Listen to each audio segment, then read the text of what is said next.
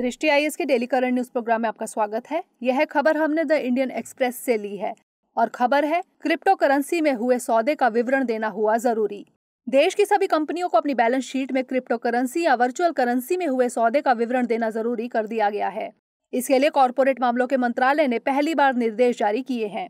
यह विवरण कंपनियों को रजिस्टर ऑफ़ कंपनीज़ के साथ दाखिल अपने वित्तीय वक्तव्यों में देना होगा। यह आगामी वित्तीय वर्ष से लागू हो जाएगा। नए निर्देशों के मुताबिक कंपनियों को क्रिप्टो करेंसी या वर्चुअल करेंसी से जुड़े लेन देन पर होने वाले लाभ या हानि का भी खुलासा करना होगा।